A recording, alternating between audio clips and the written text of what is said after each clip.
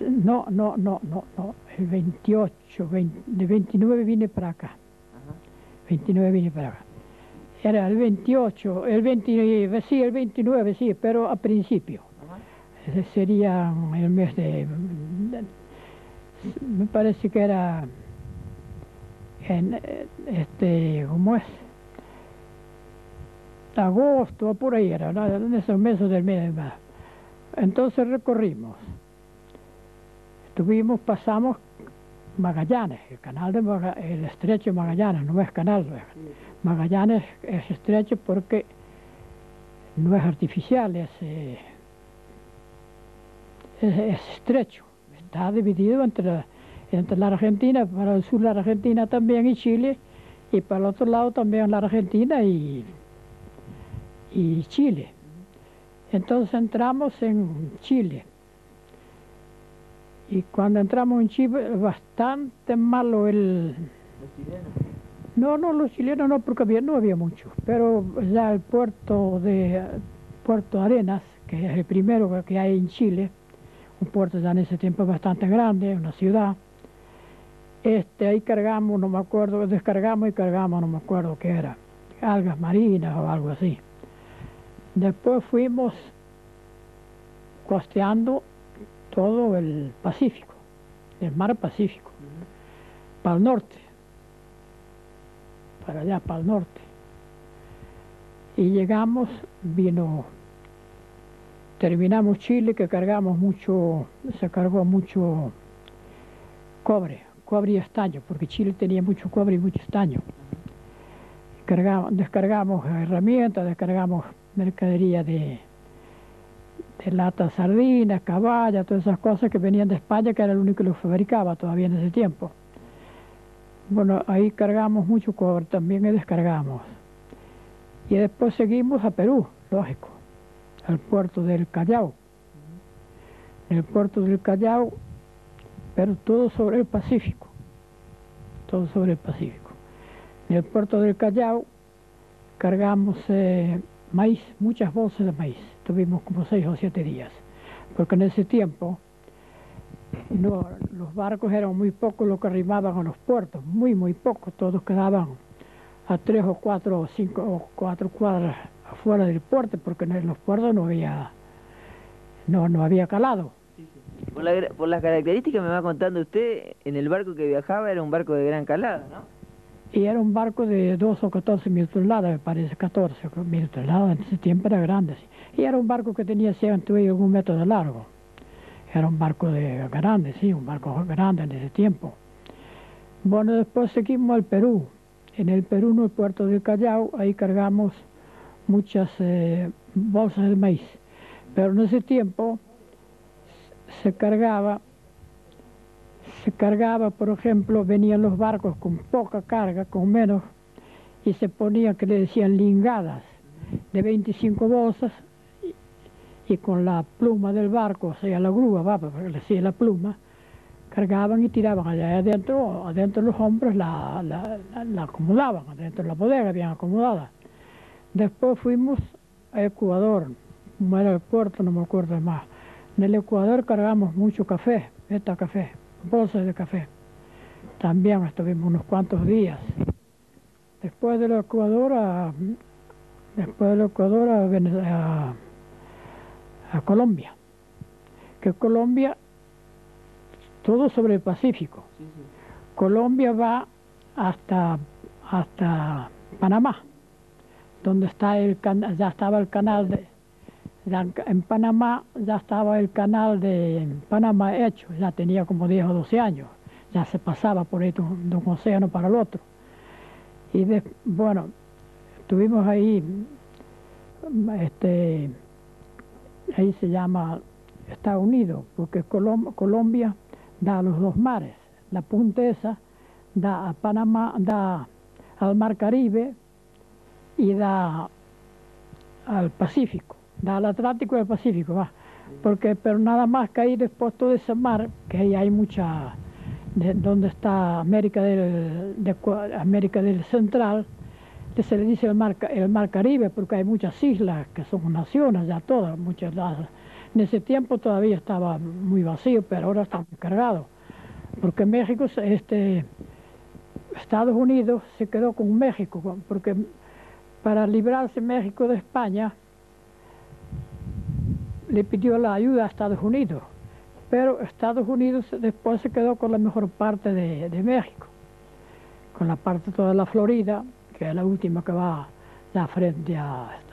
porque todo eso que acá decimos Estados Unidos quiere decir Estados Unidos americanos, que son Estados Unidos de Norteamérica, que es una parte de México, una parte grande, que México era muy grande, porque después Norteamérica empieza a ver cómo ahí en, Norteamérica no llegué a Norteamérica, porque viene Norteamérica y después viene Canadá, hasta el norte, allá. Por ejemplo, Canadá ya estaba una, no descubierto, pero había las tierras donde se iba a pescar bacalao.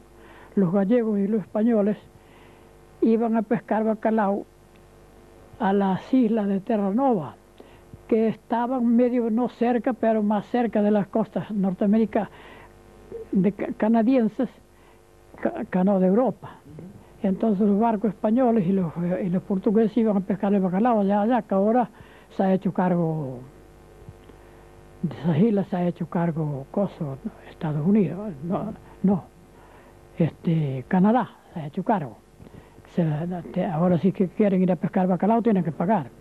¿Y esa gira cuánto tiempo, en cuánto tiempo la gira? Y nos llevó creo que tres meses, tres meses o cerca de cuatro. ¿Y después volvían a España? No, después nosotros, nosotros pasamos por el canal de Panamá, el canal de Panamá, pasamos al, Océano Atlántico, allá al norte ya, cuando para el norte. Y de ahí ya nos quedaba, después de ahí fuimos a Cuba, a cargar azúcar y cargar tabaco. Y no me acuerdo que descargamos, a un puerto que se decía Cienfuegos, que está en la parte de Cuba que era para que para el estrecho de la Florida, para la Florida pero es estrecha, es grande, es ancho, es muy ancho, es ancho. Entonces ahí cargamos azúcar y, tabaco. Y de ahí venimos para, para, ahí, para, ahí para España, porque de ahí queda cerca España. Porque después de ahí, por ejemplo, nosotros ya encaramos derecho a las Islas Canarias. Que las Islas Canarias están, son españolas, pero están más vale en las cuestas de Marruecos pero ya sobre el Atlántico, todo eso sobre el Atlántico, en las islas marroquíes. En, Marruecos, que Marruecos este, es la nación que está en el estrecho de, Gibraltar, que es angosto, pero es muy hondo, muy profundo. De un lado es Marruecos, que se han peleado mucho los españoles con ese Marruecos, se ha perdido mucha gente ahí. Este está Marruecos y del otro lado está España o sea, el Peñón de Gibraltar, que una parte dominan los, franceses, los ingleses. Es, un, es una base inglesa, una parte del Peñón de Gibraltar. Y ahí está Gibraltar, después viene entre el Mediterráneo, el mar Mediterráneo, que es el mar dulce que le dicen, un mar, también lo conozco, también va, conozco parte, que va, viene España, viene España, después viene Francia y después viene Italia. Y después viene, pero ya no llegué, después viene Turquía, creo que, no, no, Turquía no viene, no me acuerdo, una nación europea chica, viene para allá, para, no, allá buscando para... para de Yugoslavia, Sí, justamente, para ir para el lado de Yugoslavia, que viene después del Mar Muerto, que es allá para el lado de Yugoslavia, este, Rusia, que le dicen el mar muerto, que hay, no me acuerdo cómo se llama, ahí no, ahí no llegué, ahí no llegué.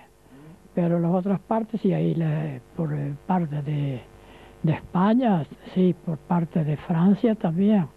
Por, en España se extiende por el Mediterráneo bastante para abajo, se extiende mucho. ¿Y cómo llega a la Argentina? Bueno, bueno, en mi casa mi madre no le gustaba cuando iba navegando, porque desgraciadamente mi abuelo, que era marinero, porque ahí en Galicia el 60% vivimos del mar. Ese 60% en Galicia se puede decir que vive que vive en el mar. Mi abuelo, que era marinero, tenía su barco, uno de esas veces se fue, pero nunca más.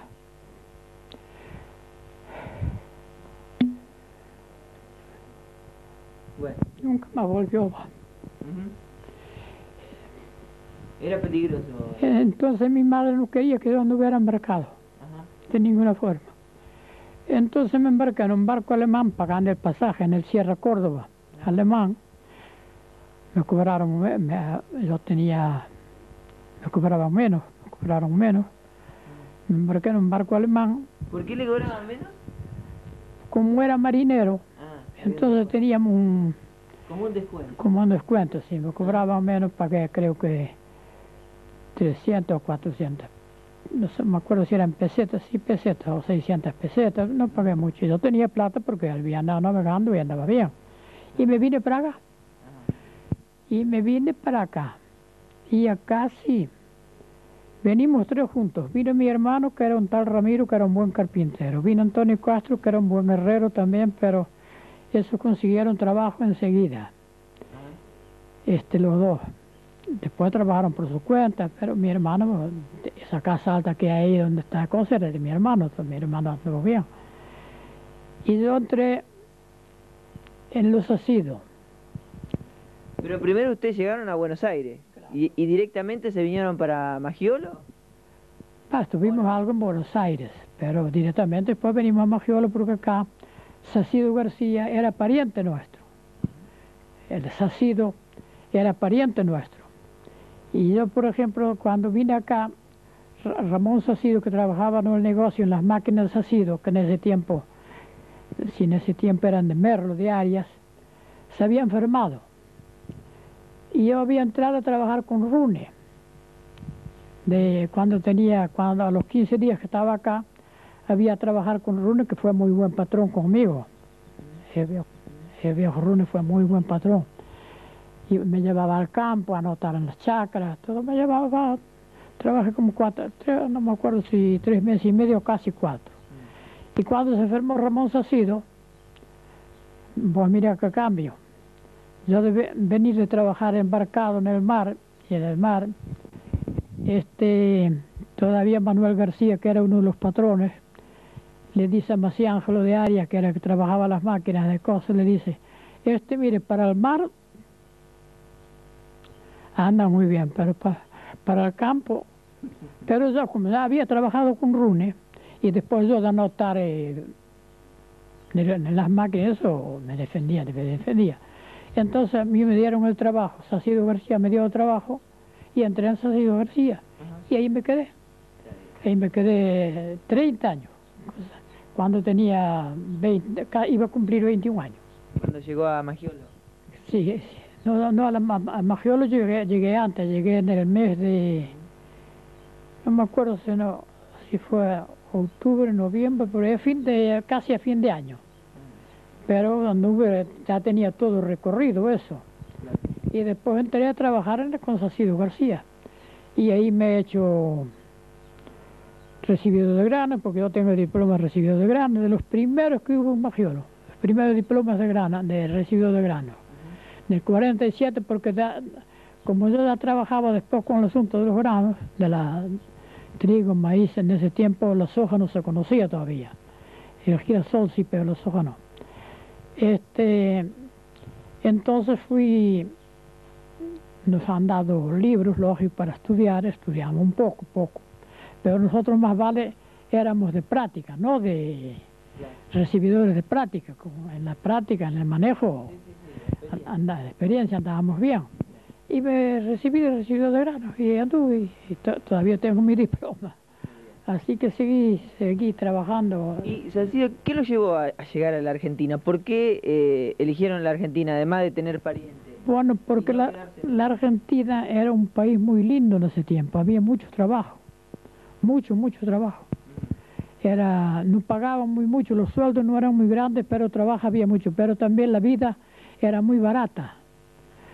Estaba Venezuela, estaba mm, Colombia, estaban todos los países que precisaban gente, porque en ese tiempo había que poblar Sudamérica, porque de un lado está Brasil, del lado del Atlántico está Brasil y del lado del Pacífico está Sudamérica, porque Sudamérica viene Chile, viene antes eh, Ushuaia, que es parte de Chile y parte de la Argentina, que está el, el estrecho allá de allá donde se pasa para el otro lado se llama Punta no, Punta de las Agujas me parece, me parece, no me acuerdo bien ahora, ya se me olvidó una cosa. Pero después está el estrecho de... O sea que todavía está el mensaje de que se necesitaba gente en la Argentina y por eso se llegaba. En ese tiempo sí, había que poblar la Argentina, la Argentina estaba vacía este, Buenos Aires, cuando yo vine a Buenos Aires, el aeroparque era todo, todo agua y junco. Todo el aeroparque, todo eso era, agua y...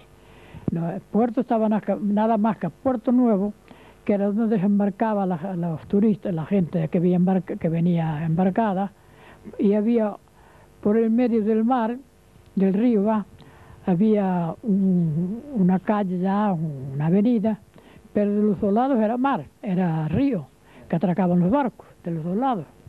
Y ahora es todo, ahora es todo, todo Buenos Aires. Y su tío eh, que, que, vino antes que usted, ¿no es cierto?, a la Argentina, se ha sido. Este, ¿qué? Sí. Eh, vine el año 10. Él vino en el año 10 el año 10. Y, digamos, eh, él le contaba cómo fueron recibidos los inmigrantes a la Argentina. y usted... Acá los, inmigrantes éramos muy, éramos muy bien recibidos también porque había una cosa. La mayoría de acá de la gente eran españoles o, o italianos. Acá había mucho español y mucho italiano. Los campos estaban todos eh, y irlandeses también, los dueños del campo había mucho inglés. Así que había trabajo para todo el mundo, había trabajo, y que quería trabajar tenía trabajo. Buenos Aires era chiquito todavía en ese tiempo. Había nada más que Puerto Nuevo, que era nuevo, este, y después estaba Puerto Madero, que era donde atracaban ya barcos para cargar, y estaba allá Puerto, en la busca, no me acuerdo el nombre. Había dos, y estaba también la unidad 5 ahí frente a la Casa de Gobierno, y eso ya estaba, ya estaba en puertas. Pero lo demás era todo Buenos Aires alrededor era todo, todo, todo campo todavía. Buenos Aires creo que no tenía un millón de habitantes, no me acuerdo cuántos tenía, pero tenía muy poco. Pero se pobló mucho Buenos Aires después, cuando se armó la guerra, allá por el 50 o 48, 49 creo, en Europa, se llenó la Argentina se pobló mucho la Argentina porque de Europa vino mucha mucha gente. Claro, por la Segunda Guerra Mundial. Porque allá ya andaban mal y vino mucha gente. Mm. Y, y, antes también ha venido mucha gente porque acá había mucho trabajo. Mm. Acá no trabajaba el que no quería. No es como ahora, que ahora trabaja el que tiene suerte, el que no tiene suerte no trabaja. Pero antes de tiempo no, porque había trabajo en las chacras, había trabajo en las estancias, había trabajo en todos los lados. Había que quería trabajar en el puerto en el puerto de Buenos Aires trabajaba gente como había que cargar casi todas las bolsas al hombro. Sabía la gente que trabajaba en el, puerto de Buenos Aires. Oh. El puerto de Buenos Aires trabajaban miles y miles de personas. Y le pagaban bien, y pagaban bien en el puerto. Y acá en también, ¿no es cierto? Hubo mucha gente. Uh, acá, más gente que la que hay ahora. Acá había en el sindicato trabajó del gremio de, y había como 400 obreros entre los estibadores, que creo que eran 80 o 90, y los de oficios varios. Pero tenían trabajo todos, todos, todos tenían trabajo. Porque todo se hacía a máquinas, hay máquinas lerdas. Máquinas, por ejemplo, que ahora va un hombre, por ejemplo, yo a mí me tocaba andar en las máquinas así, que uno era una, una cosecha, una trilladora, que le decían, para trillar el trigo, y el centeno, la avena y todo eso, esos granos chicos. Y esa es la trilladora. Y la otra era la desgranadora para desgranar maíz. Y en la trilladora éramos 17 personas. 17 personas. Y en la desgranadora éramos como 3 o 14 personas. Porque estaba cocineta, cocinero y ayudante. Después engrasador y maquinista. Después eh, tres o cuatro que, tenían que tirar el maíz de la troja a la draga para que lo llevara la draga y, Y después había, en la balanza había el que sacaba, que le decían el bolsero, el que sacaba de la boquilla, y costurero y dos costureros. Y había dos, dos pulseadores y dos llevadores a la estiva, que se hacían la estiva en el campo. Se trabajaba todo en bolsa. Así que éramos ahí nada más que, y había, acá estaban las máquinas de, de Bocio, Bocio tenía máquina, Balucino tenía máquina, los gandines tenían máquina, este, los sodazos tenían máquina, ¿Y quién era el otro que tenía máquinas? No, me acuerdo, si había otro, pero había unas cuantas máquinas, había como seis o siete máquinas. Y ahí eh, invertía mucha gente. Y en cada cosecha, si ahorraban un poquito, si ahorraban un poco, había que no ahorraba y que no ahorraba, como todas las partes. Le quedaban 400, 500 pesos, porque era, era, era con comida. ¿eh? No pagaba nada comida, era con comida. Lo único que se le cobraba era el vino y los cigarrillos. Después lo demás era con comida. Se le pagaba cada seis, cada mil quintales, se le pagaba seis pesos a cada uno de la cuadrilla. Y se hacían, si era un, mes bueno y eso, hacíamos mil seiscientos, mil quinientos, mil ochocientos quintales había. Cuando los días eran medio largos y maíz, maíces buenos, como el maíz era todo entrojado, se hacían mil y había veces que se hacían dos mil quintales también. Por día. Por día, sí hacía mucho trabajo, entonces ganaban bien la plata. Como la comida la tenían paga, estaba muy bien. Pero ahora no hay nada. Ahora no hay nada. Ese es el asunto. Que se dejaron entrar todas esas máquinas. Ahora no hay nada. ¿Y alguna vez pensó ah, en, en, aquellos tiempos en volver? Sí, muchas, muchas veces pensé. Pero yo no podía ir porque no pude ir porque yo estaba comprometido con el servicio militar porque cuando yo vine de allá, a los dos, por, eso también me vine, fue una causa también de las que me obligó a venir. Empezó la guerra con África, con Marruecos. Y después que se, que se terminó la guerra con Marruecos, empezó la revolución, la guerra civil española. Y, oh, Gabriel, vení, la, la guerra civil española, entonces a mí me habían llamado de allá de España para ir a... Y eso de nuevo, quedate acá. Y, eso, y ah, cuando quise ir después que pasó todo eso, sabía... No, cuando había plata no podía ir, pero cuando había plata sí, pero después ya. Pasá, Gabriel, pasá. Viene la época difícil. Claro, viene como ahora. ¿Quién va ahora? Muy pocos. bueno, pero después ya forjó su familia acá. Ah, yo, me casé en el 50, del 44, mira del 44, hace, hace 40, 56 años que estoy casado. Así que mira si, si he pasado. ¿Cuántos años hace que está en Magiolo? Bueno, va a ser 71, ahora para fin de este año, para... Para el 2000. Para no, sí, sí, ahora para el 2000, 71 años. 71. 71 años. Así que he visto de todo. Si no, te diga Gabriel, anduve en el campo casi siempre Después tuvimos un negocio con el hijo. Anduve, anduve bien. Cuando ando mal es ahora. Pero si no, para mí, gracias a Dios, me fue bien. O sea que ha visto todos los pasos de, este pueblo. Todo, todo, todo. Nada más que uno no se acuerda. En ese tiempo, en ese tiempo acá en Magiolo éramos como 5 o 6 mil personas. ¿eh? Ahora no hay nadie. Pero en ese tiempo estábamos como 5 o 6 mil personas acá en Magiolo. Había gente acá en el campo principalmente. Había cuatro, como 400 chacras. Y en cada chacra había 5 o 6 personas. Y ahora no hay nada. Ahora no hay nada. En el campo, ahora según me han dicho, hace mucho que no voy al campo. Pero lo conozco bien todo el campo alrededor acá en Magiolo. Ha quedado mucha tapera. Mira, acá estaba la estancia ahí de Loreto, que no me acuerdo cuántos colonos había, había, claro que eran también como siete militares, porque todo el campo que decían la Inés era de ahí, de, la, de los cábanas. No sé cuántas personas, cuántos chacareros había. En la pluma había chacareros, donde no había chacareros en, en, los siete árboles, ahí no había. Pero daba mucho trabajo por tanto. Este, pero había en el campo Maqui, que era un campo grande, medio dividido, había chacras ahí. Y había como 400, entre, porque en ese tiempo también parte de la Emilia era de Magiolo. Allá la Emilia, ahora dicen los maizales. Ahora le dicen los maizales, ahí había mucho colono. En la helada había mucho colono. En la Noria había mucho colono. En el Retiro había colono. En el campo Maqui, allá en la Victoria de Rune, había muchos colonos también, muchísimos colonos, no me acuerdo cuántos en este momento, pero eh, eran más o menos 100 hectáreas cada uno. ¿Y a su esposa la conoce acá en Magiola? Sí. Ella era hija del mayor don La Pluma. Ella era hija del mayor don La Pluma. ¿Y en una de esas campañas la dieron a conocer? No la conocí. trabajar ahí a La Pluma o...? No iba ahí a trabajar ahí, pero no la he conocido desde que, tenía 4 o 5 años. La conocí jovencita, sí. Iba a La Pluma, uf, si he ido a trabajar en el campo La Pluma. Campo La Pluma, el campo de Casey allá atrás de La Pluma, los siete árboles allá, este, de este otro lado la Marta, la Marta de la Nieve y la Cordobesa.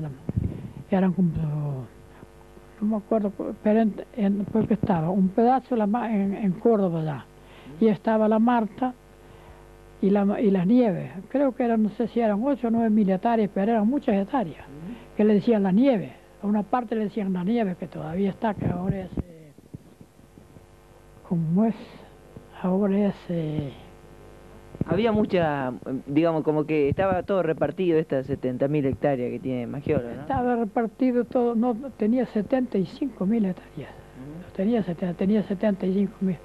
Y acá, el campo de los rubiolos era propietario, los rubiolos, los bodrás, los de Giovanni.